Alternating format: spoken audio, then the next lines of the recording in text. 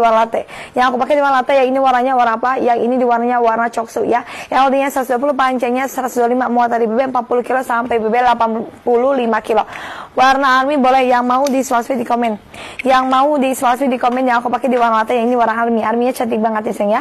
Jahitannya tuh rapi, udah dari berbahan tebal halus, adem jatuh, timrong ya. Army sama hitam nih sayang hitamnya. Ini warna hitamnya, ini army ini hitam. Etalase satu ini army ini hitam. Ini hitam ini warna army etalase satu sayang ya. Etalase nomor dua warna plum teteh boleh.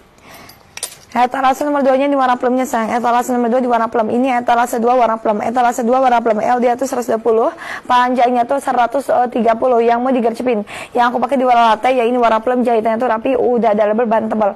Bahan tebal halus adem jatuh timurnya. Ya ini warnanya warna apa? Warna plum. Plumnya cantik banget sayang ya. Warna denim navy katanya boleh. Warna denim sama navy ini sayang, denim sama navy-nya. Etalase nomor satu ini warna navy, ini warna denim. Ini warna denim, ini warna navy sayang ya. Jahitannya tuh rapi, udah double bahan tebal yang mau digercepinnya. Ini warna denim, ya ini warna navy etalase nomor satu teteh gercepin. Kalau mau dapat harga di 47 ribu ya. Yang aku pakai di warna latte, ini warna denim, yang ini warna navy. Teteh gercepin. LDA tuh 120 panjangnya 125 muatan BB 40 kilo sampai BB 80 kilo.